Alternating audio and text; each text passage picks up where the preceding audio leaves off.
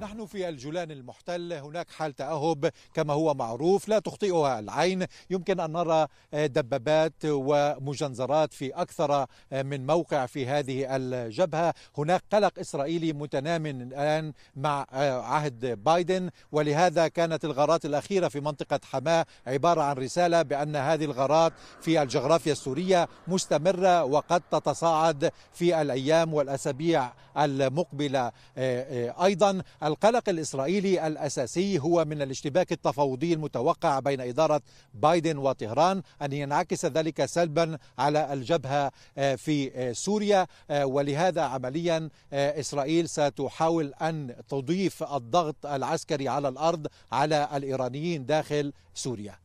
ولكن الخشية الإسرائيلية تبقى في المواجهة على الجبهة الشمالية منحصرة في حرب شاملة مع حزب الله. والتحدي الأكبر بالنسبة لإسرائيل بات الصواريخ الدقيقة التي بات يمتلك منها حزب الله المئات. ولهذا عمليا فإن التوتر يبقى قائما على كامل الجبهة الشمالية. زياد حلبي العربية الحدود الإسرائيلية اللبنانية.